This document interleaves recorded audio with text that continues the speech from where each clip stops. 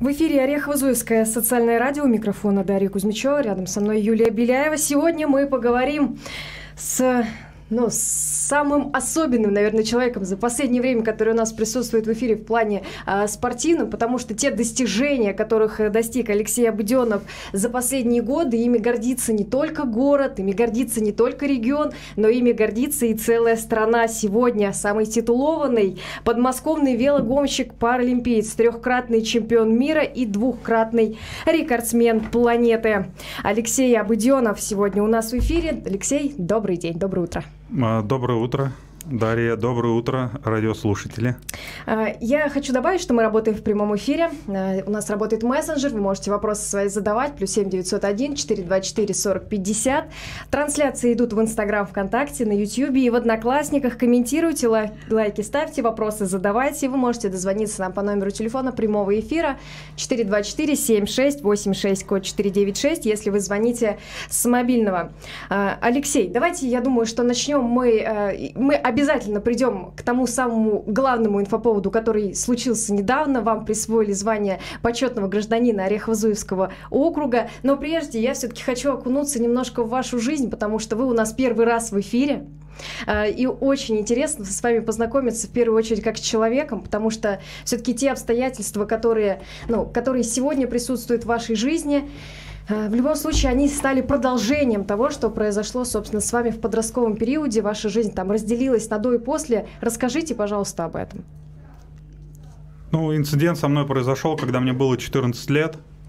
Э, сразу же на следующий день после моего дня рождения, день рождения у меня 22 апреля, а 23 произошла трагедия.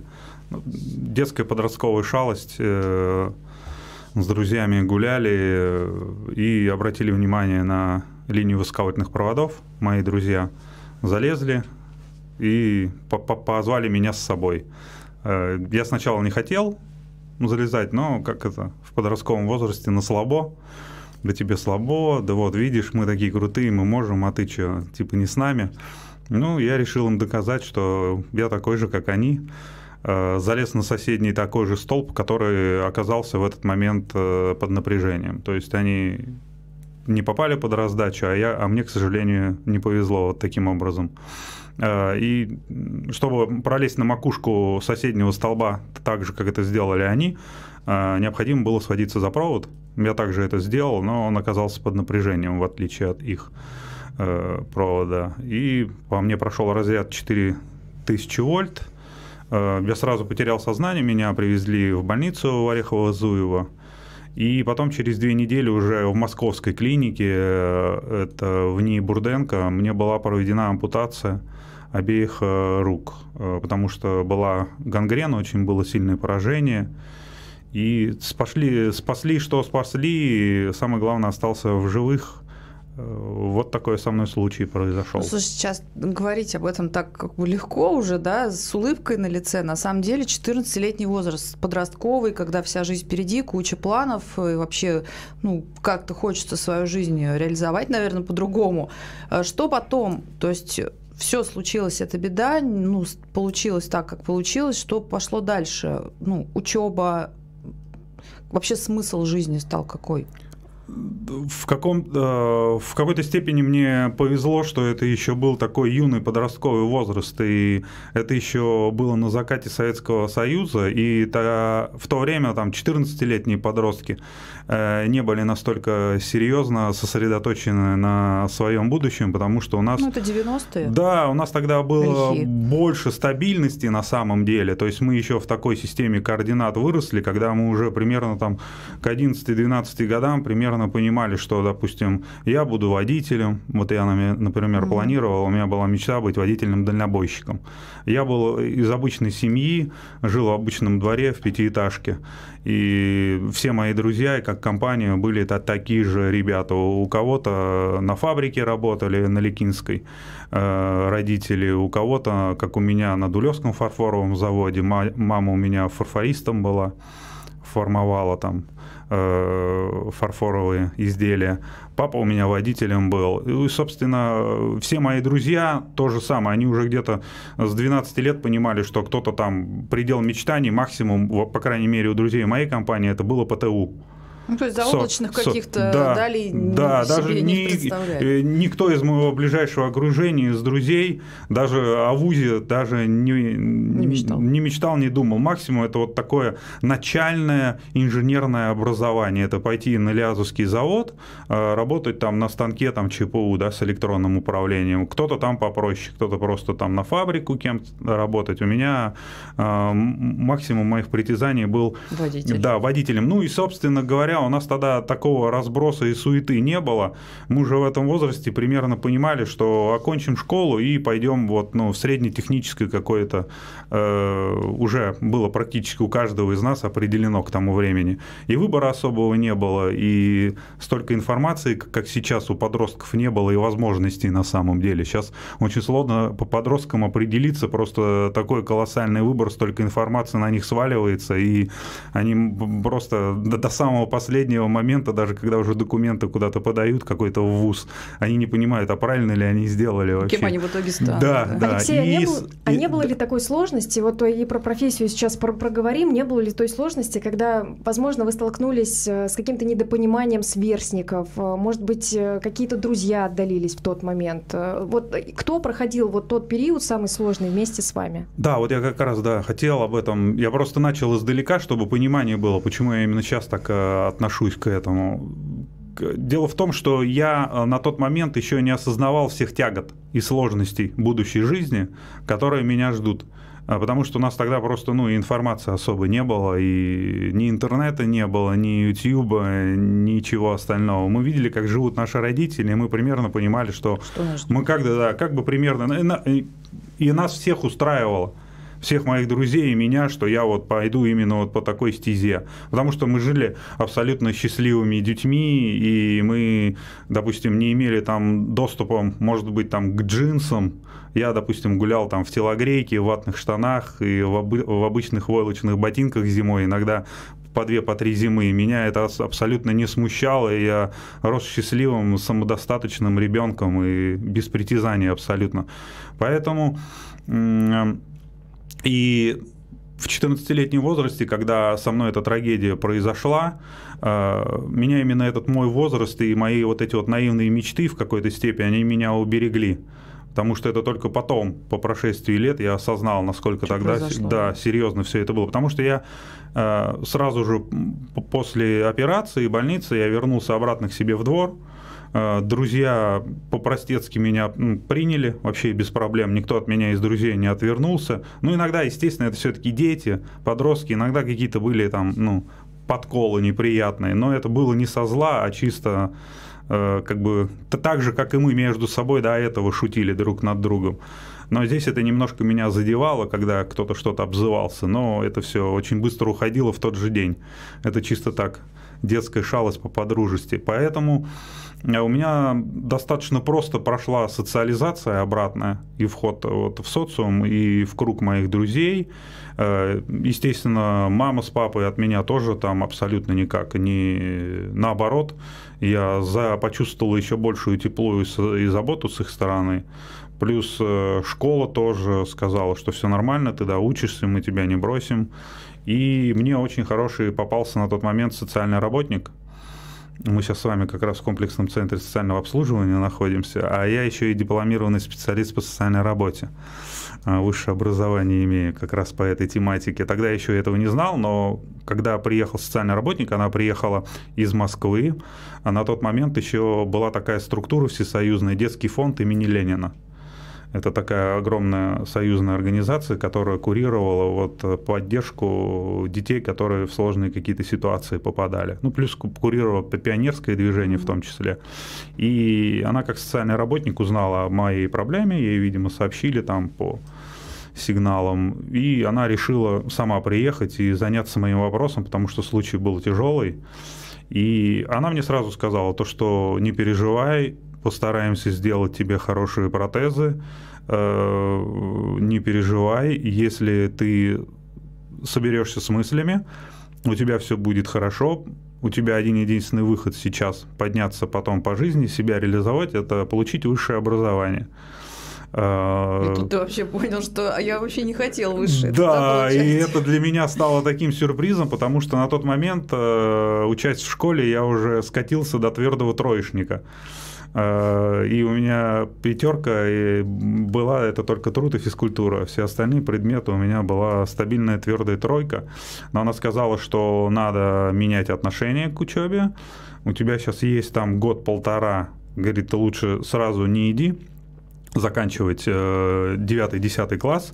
Немножко тебе надо отдохнуть, ну, прийти в себя и функционально, и самое главное, ментально быть психологически готовым принимать просто эти нагрузки и заодно подтянешь ту программу, которую ты упустил за последние годы в средней школе. Она мне просто дала задание, сказала, чтобы я доучивался 9 класс, и на тот момент она мне сказала, что как раз появился университет в Москве, как раз в 91 году, Московский государственный социальный университет, у которого как раз специализация была, это подготовка специалистов в сфере социального обслуживания. Она сказала то, что вот если у тебя со школы все хорошо получится, она сказала, а я в тебя верю, я вижу, что ты можешь, у тебя все получится, мы тебе э, поможем, чем надо. И вроде бы потом все получилось как положено. Я оттолкнусь и напомню, что мы в прямом эфире работаем. Я хочу несколько слов благодарности сказать. Эфиры смотрит, комментирует настоящий человек, э, мужчина с большой буквы. Всегда приятно и интересно слушать комментарии к нам приходят. А, можете трансляции наши комментировать ВКонтакте, Инстаграм, Ютуб, Одноклассники. Все смотрим. Мессенджер работает. Плюс семь девятьсот один четыре два четыре сорок пятьдесят. Алексей, вы сказали, пятерка была по труду и физкультуре. Я так понимаю, что все-таки отталкиваться потом решили от физкультуры и танцевать дальше, и развивать себя все-таки больше в этом. Я знаю, что вы очень долго занимались э, бодибилдингом. И после этого еще у вас было плавание, а только потом вы пришли к велоспорту. А почему такие вот э, скачки были и почему в итоге решили остановиться на паравелоспорте? Ну, э, собственно, я вообще считаю, что каждый человек должен относиться к вызовам и к тем ступеням, которые перед ним в жизни открываются, с таким образом, э, таким образом, что надо стараться идти, развиваться. Если, допустим, ты понимаешь, что ты как-то в своем развитии э, чуть-чуть остановился, и перед тобой открылось какое-то окно возможностей, этим надо обязательно пользоваться, не бояться. А, но понимать при этом, что, соответственно, от тебя там чуть больше потребуется, чем на предыдущем этапе. Но обязательно идти дальше, если предоставляется такая возможность. Поэтому э, я э, тут как бы, видимо, такая, такое свойство у меня выработалось потом преодолевать. То есть, если какая-то преграда есть, надо постараться собраться с силами это преодолеть, и потом неизбежно появится еще какая-то возможность, какая-то способность, которую надо будет, которой надо обучиться и которая тебе поможет в том или ином плане в жизни. То же самое было, допустим, в учебе.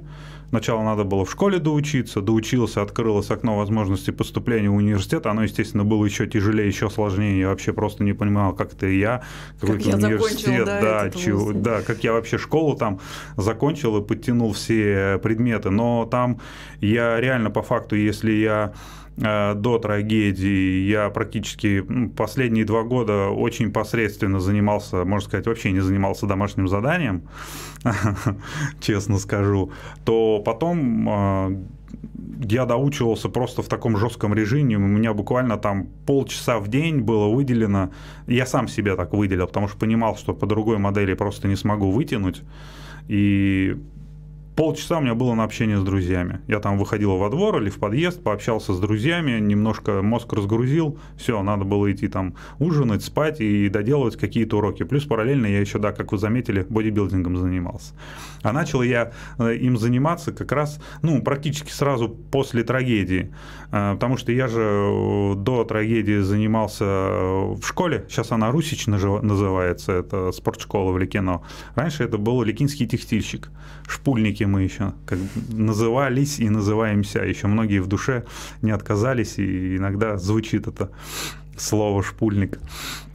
А, я играл в хоккей, э, в хоккей с мячом за команду «Ликинский текстильщик». по, ну, по возрастам, естественно, до какого дошел, до травмы. А э, это зимой, а летом я играл э, в городской команде футбол. Я вратарем был а в хоккее я левым защитником играл. Ну, собственно, у меня неплохо получалось. В принципе, у меня где-то отдаленные мечты были еще и, возможно, и в хоккее тогда еще. Может быть, потому что я видел примеры тогда, как э, некоторые спортсмены у нас из нашей школы, взрослые уже, они возвращались там из команды мастеров, и это было их профессиональной деятельностью. И где-то там отдаленно я думал, а может быть и, такой вариант может быть у меня будет жизни, но как бы все равно водителем и дальнобойщиком мне хотелось стать больше. А сейчас? Ну, то есть на тот момент не было вот такой перспективы, понимания того, что можно уйти прямо в профессиональный спорт. Тогда вообще об этом даже не думали? Я тогда нет, тогда нет, тогда был просто хотел стать, э, хотел быть, да, водителем дальнобойщиком, да.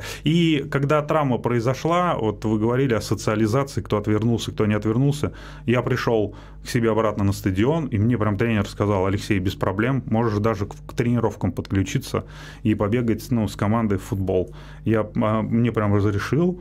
Э, я со своими ребятами, друзья, ну, со сверстниками, с кем в футбольной команде играл, это лето было, я как раз после травмы восстановился, провел несколько тренировок и увидел, что мне это очень сильно помогло то, что от меня не отворачиваются, меня не странятся, и это было ну, в моем родном городе, где вроде бы как бы такое отношение, ну, на то время к инвалидам все-таки было такое отношение, как к иждивенцам. От них так старались э, отсторониться, куда-то их спрятать. подальше спрятать, убрать, а здесь так, как, как, конечно, были люди подходили и начинали плакать мне и говорить, вот, вот как же так, да вот ты теперь как ты будешь жить, у тебя все пропало, и это совершенно просто, люди, прошу вас, если вы э, на вашем жизненном пути попался человек, попавший в трудную ситуацию, тем более, когда у него какая-то травма там или жесткая серьезная трагедия, не надо его жалеть и говорить, да как же так, у тебя жизнь остановилась, да ты теперь вообще, э, как же ты теперь сможешь сможешь жить. Это самые плохие ну, общем, вообще не слова. Надо его депрессию выводить. Да, да, наоборот, надо поддерживать, да, произошло, но надо жить, надо любить жизнь, надо возвращаться и искать новые ориентиры и стараться хотя бы морально поддержать. Если не, не можете поддержать каким-то там эм, движением, действием, там, да, да каким-то действием, да, то хотя бы морально не надо людей размазывать э,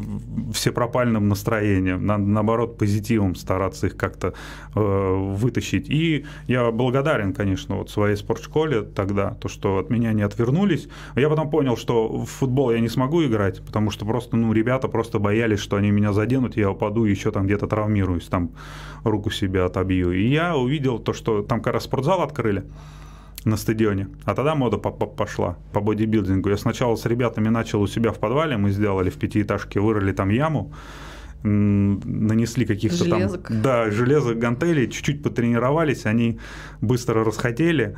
А мне как-то понравилось свое тело трансформировать. Я понял, что я могу свое искалеченное тело как бы улучшить, проапгрейдить. И мне это очень сильно ментально так это, ну, у меня э, очень хорошие такие ну, струны. Мне кажется, тут уже да было такое, а кто кого, я да, его или оно меня. Да, да, да, или эта ситуация. Я понял, что я ситуацию могу в лучшую сторону повернуть, занимаясь вот этим видом спорта, именно проапгрейдить свое тело к улучшению. И это прям меня зацепило, и я стал приходить уже потом в спортзал именно вот на Ликинский стадион. Это был мой первый опыт, который до сих пор у меня. Я хожу в спортзалы, потому что у меня такой вид спорта, где это параллельно совмещаю. Так ты еще и в бассейне оказался. У нас тут э, есть э, вопросы, они разные. Собственно, первый, что самое трудное было в начале спортивной карьеры, физический или психологический фактор? Вот что-то, наверное, наверное, и психологически, наверное, было сложно, и физически.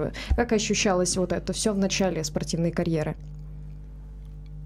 Ну, когда начал заниматься, естественно, приспособление спортом, это же все на руку вешается, на культю. Она не адаптирована. Это как вот, наверное, люди из боевых искусств, они знают, когда надо костяшки набить, чтобы пробивать там дерево, кирпич, э, ВДВ там или э, то же самое надо было просто, грубо говоря, намять культю, чтобы она не болела во время выполнения физических упражнений. Но как бы цель оправдывала средства, И в итоге все примялось, все притерлось. И... А психологически вообще абсолютно не было, потому что я видел, какой эффект это оказывает. Он достаточно быстро стал приходить, и я, наоборот, настолько увлекся, что э, психологических проблем абсолютно никаких не было. И, да и физические потом ушли. Это, наоборот, я понял, что физнагрузка это я только потом я узнал, что она естественным образом вырабатывает эндорфины.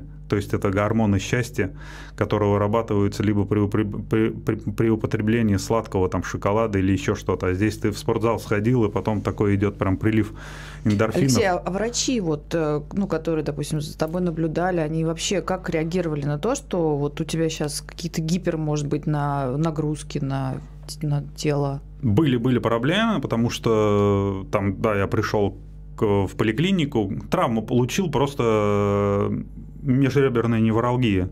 Дернул мышцу Прострел. грудную, да, и у меня начались прострелы в грудной клетке, и я подумал, что у меня там с сердцем какие-то проблемы. Пошел в поликлинику, у меня кардиолог посмотрел, сказал, ой, ты что, у тебя там такая вообще, у тебя такая брадикардия, тебе нельзя, тебе только надо пешком в лес ходить там час в течение дня там прогулка. Я говорю, а как? А я вот... А у меня штанга. Да, у меня это вот... Ничего, ни в коем случае. Какая штанга, какие гантели, только ходить в лес по часу пешком. Я говорю, да-да-да, ушел. А вот когда потом с врачом встретились и, собственно, уже там после стольких лет бодибилдинга, да, после он плавания, свою... после велоспорта, ну вот... Даже... Он, свою, он свою позицию не поменял. Для него, как бы, у него свои взгляды, это все-таки не э, спортивный кардиолог, кардиолог, это кардиолог общей практики медицинской, и он по-своему видит все эти вещи.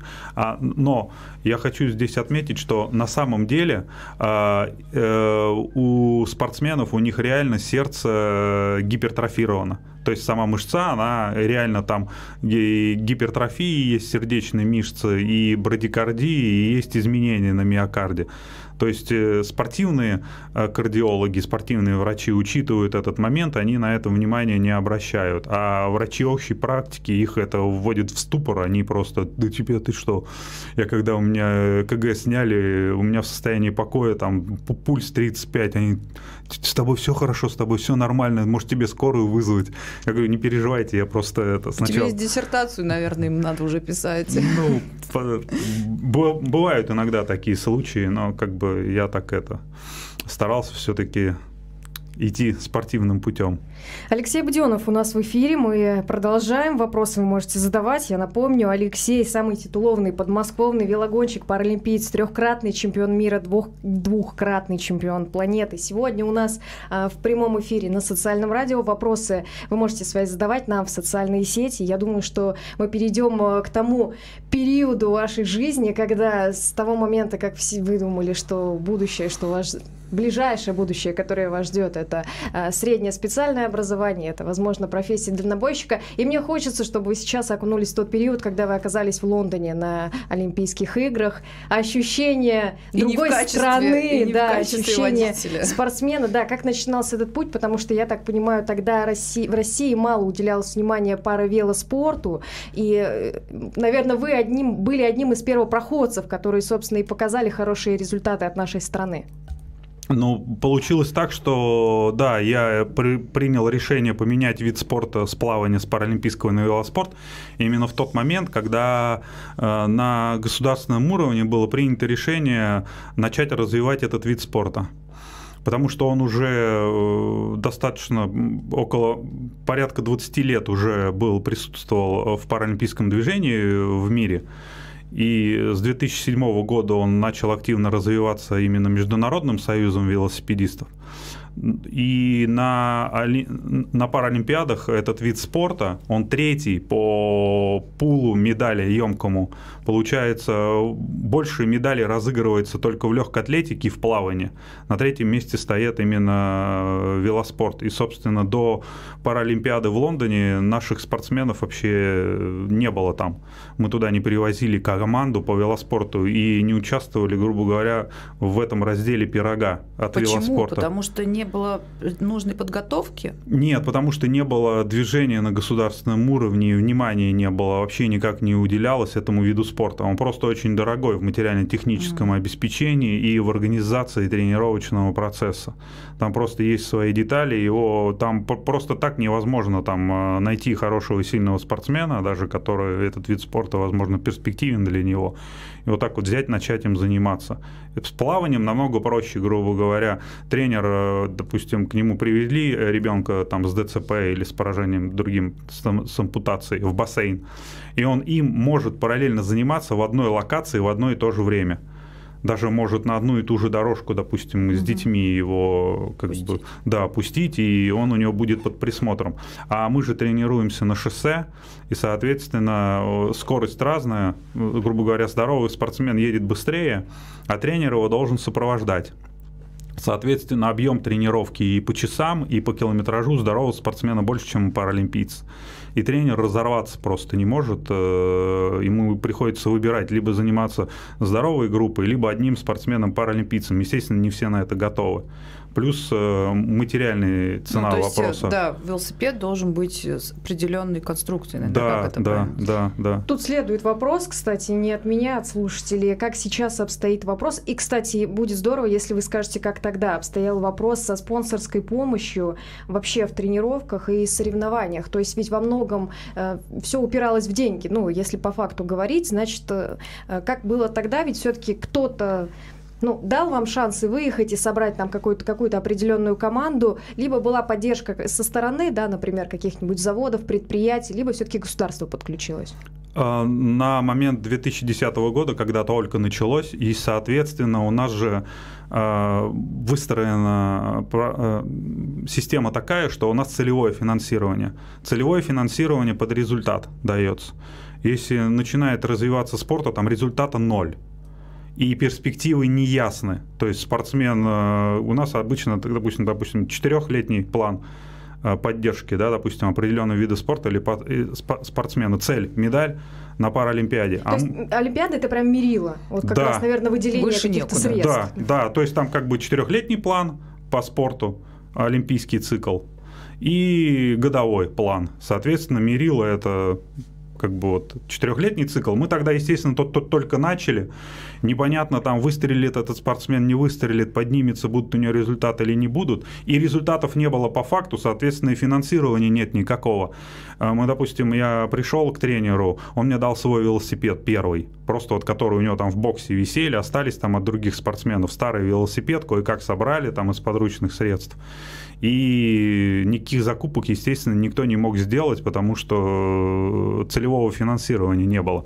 И первые там год-полтора мы, все спортсмены, которые из разных регионов пришли, в свои регионы, им давали те велосипеды, которые вот... Э, все, что было. Да, все, что было, там собрали, из чего попало. Потом, естественно, там уже, э, когда пошли результаты, регионы стали уже на следующий год какие-то делать закупки. Но опять же, это не топовое оборудование, а там минимальное базовое какое-то оборудование. А в этом есть разница. У нас технический вид спорта, у нас такие там болиды, которые, вот, допустим, сейчас для сборной э, Великобритании болиды готовил э, автоателье Lotus. Это есть Макларен, Ferrari, извест, известные марки автомобилей. Ну, если говорить просто, это очень крутые велосипеды, да, скажем да, так. Да, и очень, очень дорогие. Очень крутые, очень дорогие, ручной работы. И, соответственно, когда человек идет на медаль на чемпионате мира, ему как раз такие велосипеды и делают. Потому что ты можешь быть функционально готов э, так же, как твой соперник, но он выйдет на лотусе, а тебе дадут э, старт шоссе там 30-летней давности, на которых э, Э, у нас уже современные дедушки ездили. Собственно, ты там хоть будешь два раза сильнее, ты не сможешь этого спортсмена никоим образом победить. И тогда мы примерно в эту ситуацию попали. Я год ездил вот именно на таком велосипеде, которому было там порядка 10-15 лет, алюминиевый.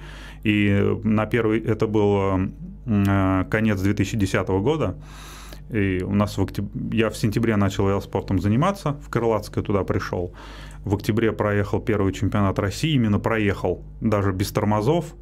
тормозил просто самокатом, меня тренер это, это ловил на финише, потому что я тогда еще, мы тогда еще не придумали систему тормозов, как я могу. И он говорит, хорошо, что у нас гонка индивидуальная, и там разворот у нас был на горе, Угу. То есть ты, говорит, в гору заедешь, у тебя скорость будет невысокая, ты как раз спокойно сможешь развернуться, потому что тебе не надо будет оттормаживаться.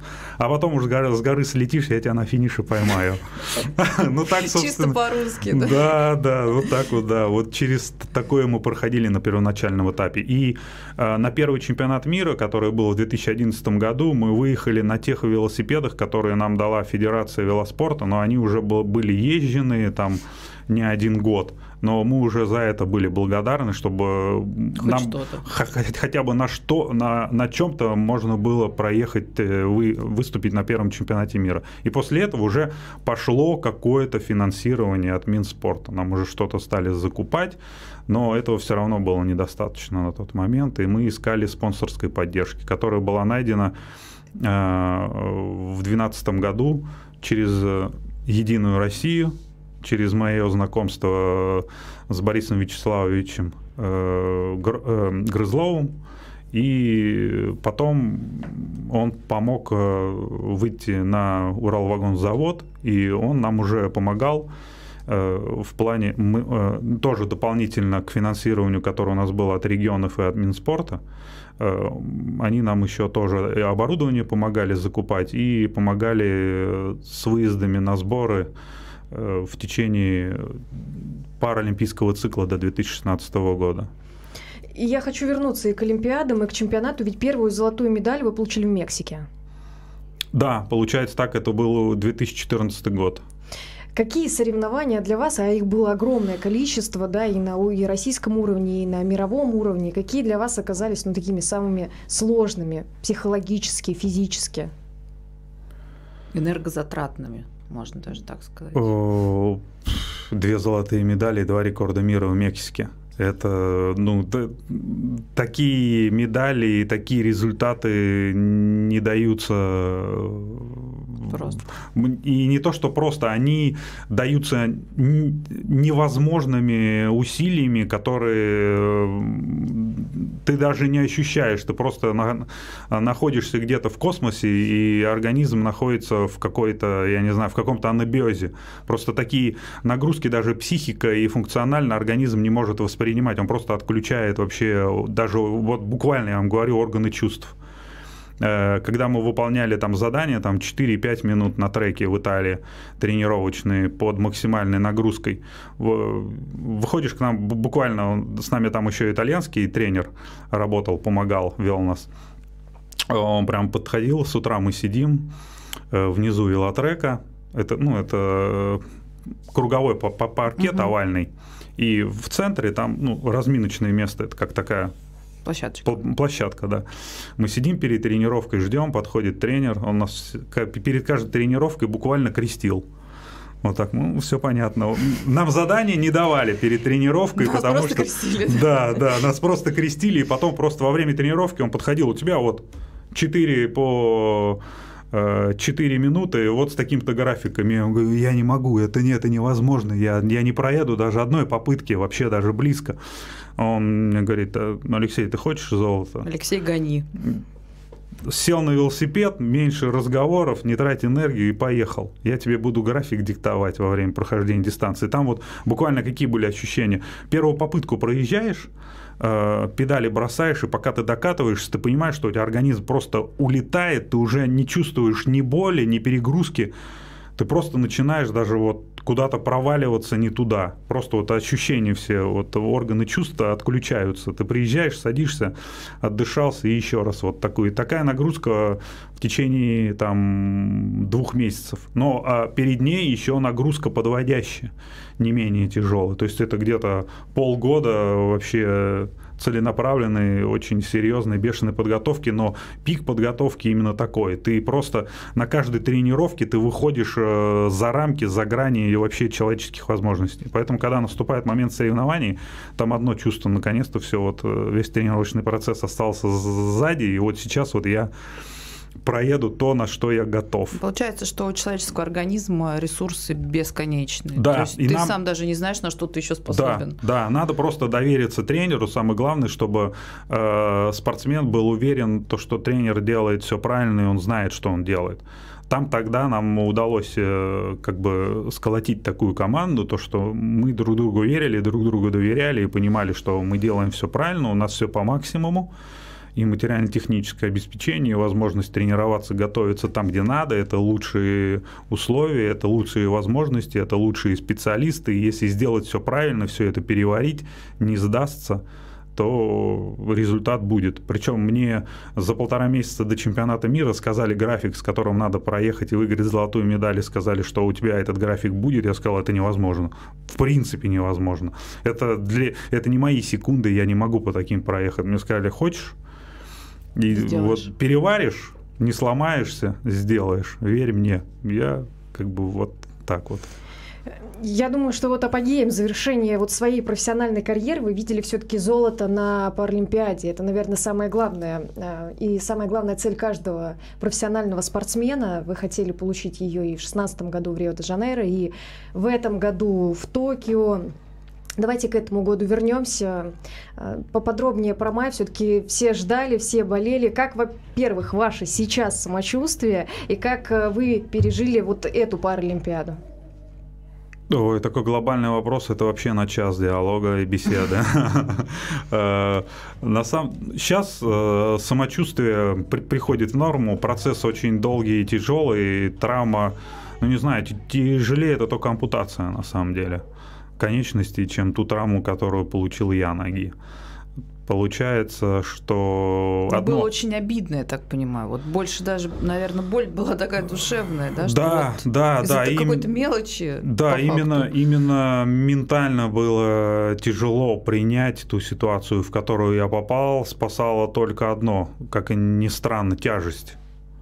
То есть мне некогда было тратить силы на горевание и на... себя жаление. Да, на себя жела- э, жаление надо было просто выгребать. Э, Чисто пройти операцию, пройти послеоперационный период, пройти боль, начать э, какие-то многие вещи заново делать самому. Э, То же самое, даже банально просто в, в туалет сходить. То есть для меня было вообще счастьем, э, это не уточка э, в, это, в кровати, а самому дойти до туалета. И это уже была победа, это уже было счастье. Поэтому в на первом этапе в основном я вот просто э, как бы боролся за себя, боролся за свое функциональное состояние, э, боролся за свое здоровье. Когда уже стал понимать, что восстанавливаюсь, уже стали приходить вот эти мысли, о которых вы говорите, от- об упущенных и потерянных возможностях. И они как бы накатывали по, по мере моего восстановления. Потому что я как бы стал это как бы впускать в себя, на это оказалось место в моей голове этим мыслям, и они стали, грубо говоря, съедать мою ментальность. И чем ближе подступала Олимпиада, тем э, тягостнее все эти ощущения и мысли становились. Э, Собственно, Олимпиаду по ну, здоровым я еще мог как-то смотреть, а Паралимпиаду вообще не смотрел. Вообще не смотрел, посмотрел только один заезд там у ребят, и то в конце. Но надо сказать, что вы там все-таки оказались на этой Паралимпиаде, пускай и дистанционно, но все же, все же вы там были. Да, Как- Кто это обеспечил? Как это, случилось? Это просто такое чудесное э, получилось мое там появление, даже неожиданное для меня. Я не предполагал и не прогнозировал, но оказывается такое оказалось возможно, так как мне принадлежат, ну на момент э, соревнований э, в Токио мне принадлежали еще остались непобитыми мои два мировых рекорда на треке на одном километре и на трех километрах. Эта информация должна присутствовать официально на сайте э, Олимпиады Токио именно, Мгм. на международном сайте, указываться в стартовых протоколах, в информациях о заезде, в протоколах, которые распечатываются, разда- раздаются делегациям и потом отправляются с результатами. То есть там везде в начале протокола стоит название дистанции, место проведения, действующий рекорд мира, кому он принадлежит, с какой этой страны. И эта вся информация указывалась и с флагом, И самое главное, с аббревиатурой что России. Что была большая редкость. Тут ну, то, сказать. что, да, как, оказал, как оказалось, то, что вроде бы это все запрещено, национальная символика, а вот а, таким чудесным, невообразимым образом я оказался на Олимпиаде, так еще и с флагом, и с официальной национальной аббревиатурой. И меня в этот момент отпустило. Мне когда друзья прислали эту фотографию, Э, с олимпийского велотрека идут соревнования, а там на огромном табло. Я. Да, моя фамилия, время, флаг России и РУС, и аббревиатура страны. вот э, в этот день меня прям вот отпустило. Я понял, что я там был, и э, в каком-то смысле моя миссия была выполнена. Ваш рекорд не побит. Побили. Побили. Побили, на, да. На сколько? На километр э, где-то в районе трех сотых улучшил на километр. А один и тот же спортсмен англичанин с Великобритании на том самом лотусе как раз, угу. про который я говорил. И, а на трех километрах он достаточно намного это улучшил. А, он снял с моего рекорда порядка 7 секунд. Это очень много, очень много. И... Но зато англичанин э, вывел на табло предыдущий рекорд мира, который до этого держался 9 лет. Эту информацию вывели табло, причем в этот момент и прямая трансляция шла по телевидению, и оказалось так, что вся эта информация попала во все источники официальные Паралимпиады, которые э, использовались э, для освещения этих игр, и она в том виде, в котором она была представлена. Вы не останавливаетесь. Впереди, ну, для вас э, по счету будут э, какие третьи, да, Паралимпийские игры, на которых вы планируете э, завоевать медаль. Вы не останавливаетесь, они будут в 2024 году. Цель есть, вы не передумали, ваши цели не поменяются до этого года. Это будет четвертая Паралимпиада. Четвертая? Я уже в 2012 году был на Паралимпиаде в Лондоне. Собственно, вот этот вот комплект формы – это парадная форма э, лондонской Паралимпиады. И я туда ехал, уже рассчитывали мы на медали. Мне немножко не хватило на треке, там у меня был пятый результат в гонке преследования. А в шоссейной программе у меня были очень хорошие шансы в групповой гонке, несмотря на то, что я всего лишь два года занимался этим видом спорта. Но уже в 2012 году, в сентябре, я ехал туда с вполне такими ожиданиями медальными, но, к сожалению, в групповой гонке у меня э, произошел прокол заднего колеса, и мне пришлось останавливаться. Группа спортсменов вся уехала. Естественно, меня никто ждать не стал. Это групповая гонка, такое правило. Они уехали дальше. Гонка была 70 километров. У меня где-то на 15 километре был прокол. Пока я дождался техничку, пока она приехала, пока мне поменяли колесо, вся толпа уехала. А им в толпе ехать намного проще и быстрее. Это как эффект э, воздушного мешка. Угу. Они там просто э, друг друга сменяют в начале. Ну, плюс и, ритм какой-то да, им, свой. да, да, и ритм держат намного, и мне одному пришлось доезжать всю гонку. Собственно, я их так не, и не смог добрать. Конечно, было обидно, но у меня еще, я думал, еще 16 год.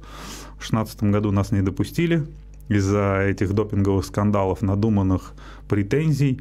Э, в 2020 году мне помешал ковид, Причем в 2020 году был чемпионат мира в Канаде. Мы успели до закрытия всех границ и до отмены всех мероприятий всевозможных. Это был февраль, начало февраля. Это тут чемпионат мира успели тогда провести. У меня там было ну, три серебряные медали в 2020 году. И, соответственно, это показало на треке то, что я готов на, через полгода на Паралимпиаде на самый высокий результат. Мы именно так и подводились, чтобы именно пик выдать в год Олимпиады.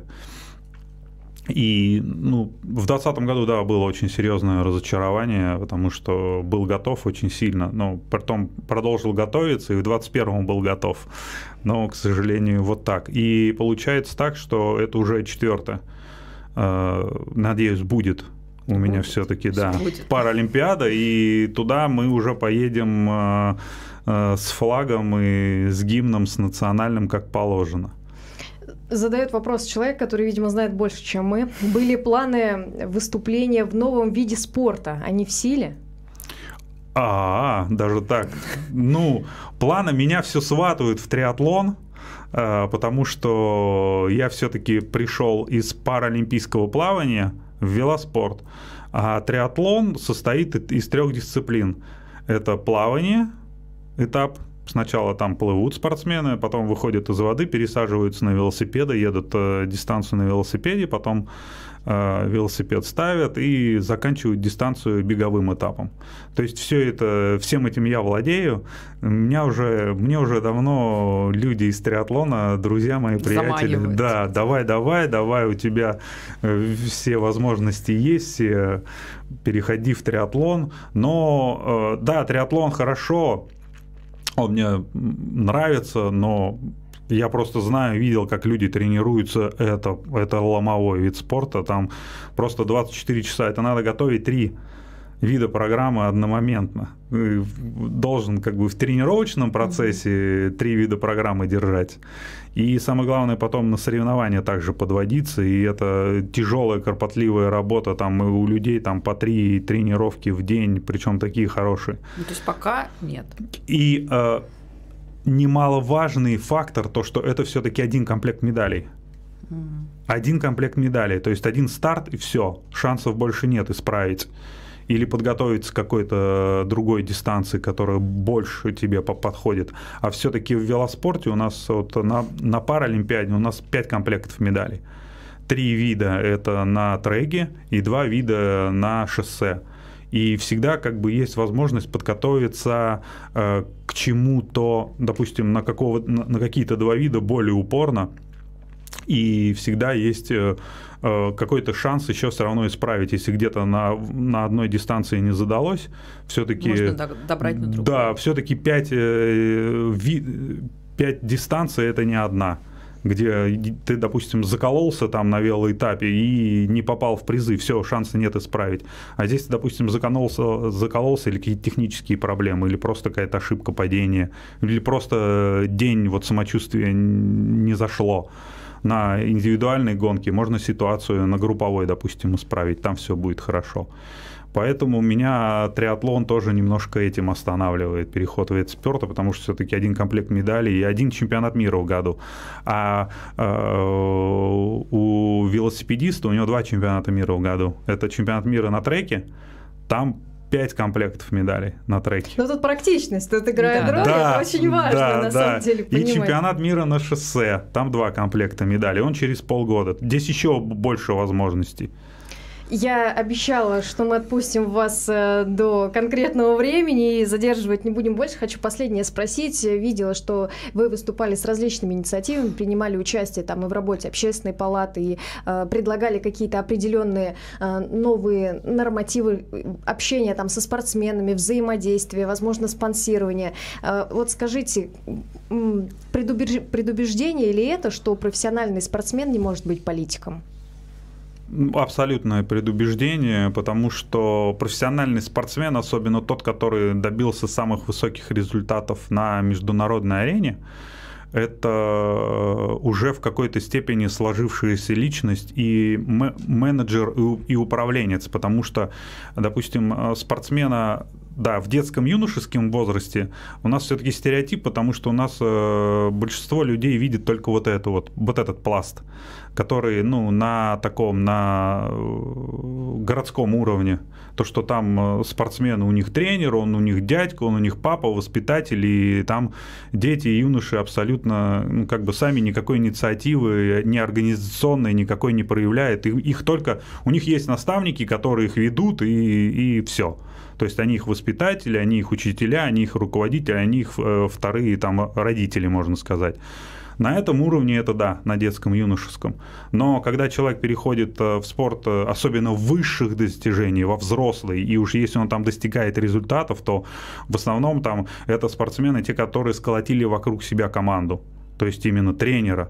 Потому что не тренеры подбирают себе спортсменов, а уже на таком этапе в большинстве случаев спортсмены от спортсменов зависит, С кем он хочет с, работать. Да, с кем он хочет работать. Очень многие спортсмены выбирают себе тренера, то, что вот с этим мне удобней. Этот, спорт, э, допустим, тренер э, более технически грамотный, у него опыт и все остальное. И он э, выстраивает, организовывает подготовку не только с тренером, но и с организациями, за которые он подписан. Там выстраивает работу с регионами по своему индивидуальному плану тренировочному. Потому что когда человек готовится на чемпионат мира под высокие задачи, он готовится совершенно круглый год, он готовится совершенно по другой программе, нежели спортсмены, которые идут, допустим, только на российский уровень. У них свои там тренировочные мероприятия, свои выезды, своя, свой там объем тренировочный. А спортсмен, который идет на высокие международные результаты, это в основном индивидуальный подход к тренировочному процессу. И в этом ничего такого нету. Это не звездность какая-то, что он там уединился от коллектива и стал один готовиться. А зачастую это по-другому просто организовать даже невозможно. Э, тренировочный процесс. Там уже цель. Да, да, как бы она должна оправдывать э, средства, и средства должны быть соответствующие. Э, отсюда и все остальное идет. Отсюда идут и инициативы. Да. Я... У нас, да, есть очень большой хороший привет для вас, Алексей. Вас можно смотреть и слушать бесконечно. От вас идет мощнейшая энергия и мотивация. Спасибо вам. Побед, победа, только побед всегда и во всем передают спасибо, вам привет. Да, спасибо большое. Я как раз вот говорили про инициативы. Я как раз много говорю о том, что э, надо стараться так, и средствам массовой информации, и руководителям на местах, от кого зависит вот эта вот культурно-массовая работа, освещение и пропаганда здорового образа жизни, каких-то положительных моментов, потому что их очень много. На самом деле они не должны быть вещью в себе. Очень много чего положительного, хорошего у нас в стране делается, но почему-то в средствах массовой информации у нас столько негатива идет. Я не понимаю, почему такое происходит, зачем это делается, зачем людям э, навязывать негативную повестку постоянно. Взрывы, ураганы, штормы, да, ну, проблемы есть всегда. А почему не стараться освещать э, положительные моменты, которых э, очень много во всех сферах жизни? Этого не надо бояться, этого не надо стесняться, это надо показывать эту именно повестку, которой достаточно много, я ее просто вижу. То же самое, как вот подключать, допустим, паралимпийцев, которые тренируются, брать у них почаще интервью, привлекать их на, э, к массовым мероприятиям. Просто вот мы знаем то, что, допустим, у нас какое-то массовое мероприятие проводится, и в то же самое время у нас здесь есть паралимпийцы, которые в этой же локации готовятся. Предложить организовать им встречу, даже в рамках тренировки подъехать, побеседовать, выступить, пару слов сказать, это уже будет невообразимый эффект. Просто вот использовать эти ресурсы, которые у нас всегда под рукой чтобы людям показывать их э, возможности, чтобы люди верили в себя и понимали, что у них есть ресурсы и свои внутренние, и на самом деле есть ресурсы организационные вокруг которые можно э, реализовать и которые можно использовать. Понятно, что есть проблемы я от этого никуда не ухожу. Но, но очень много делается, на самом, очень, на самом деле очень много возможностей. На самом деле, Алексей, вы говорите правильные вещи, и именно поэтому спасибо вам большое за то, что вы пришли к нам там не в преддверии там Паралимпиады, а потому что э, мы пришли тогда, когда, ну, мы считаем, что это должно, во-первых, э, Рассказ, рассказываться должно, да, вне зависимости от каких-то конкретных информационных поводов, потому что занятия и тренировки проводите вы круглогодично, и это очень здорово, и очень здорово, что вы выходите на встречи э, и с нашей общественностью, да, и наблюдали там на набережной за вашей встречей совместно тоже с чемпионом э, мира Романом Алексеевым. В общем... Э, Ему чему... огромное спасибо, и его супруги, они просто такое огромное дело делают, молодцы, просто для нашего округа и вообще. Чем больше будет такой людей, таких людей, такого отношения действенного, и это от каждого из нас на самом деле зависит. Надо быть действенным и давать миру, не только требовать, вот, не только концентрироваться на проблемах, там указывать, вот здесь вот плохо, вот там вот э, дерево не посадили, здесь тротуар. Ну, самим что-то надо делать, что-то надо предпринимать, и чем больше именно нашей будет инициатива на местах, тем больше будет действий правильных, тем всем нам будет э, лучше и счастливее жить. На Я думаю, что позитивной ноте после этого интервью эфир. нашего большого теперь уже точно всем понятно, почему этот человек имеет такое высокое звание, почетный гражданин округа и вполне заслуженно и очень почетно. Спасибо вам, Алексей. Спасибо вам за приглашение. Алексей Буденов, самый титулованный, я повторюсь, подмосковный велогонщик-паралимпиец, трехкратный чемпион мира и двухкратный рекордсмен планеты у нас был в эфире. Алексей, спасибо. Спасибо.